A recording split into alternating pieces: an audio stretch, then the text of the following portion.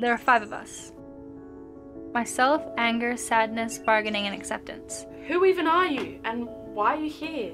I'm denial. I'm the first child of grief. I've come to help you with the loss of your grandmother. Tori, dinner's ready. Okay, I'm coming. So, how come you could come in? Mum? Mum? Can you let me out? Dad? Why don't you rest? I have an idea. Wait! Let me help!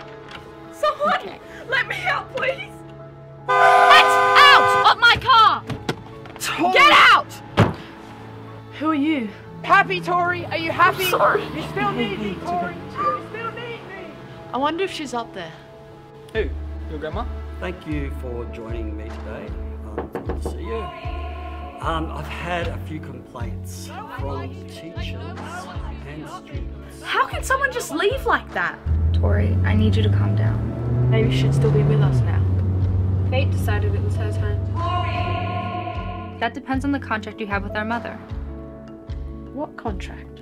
I believe she's up there, exploring the stars. I also believe she's next to you, watching over you. I'd do anything just to see her one last time. Anything? Angels, if you're listening, please look after my Nana. Let her know that I love her and miss her. A lot. I know the real reason why you hold on to guilt so tightly. Are you an angel? I won't know who is to visit you until my time is up. When do you know your time's up? I know she misses you just as much, but the hard truth is that it was her time. Eventually, everyone's turn comes when it is their time to go.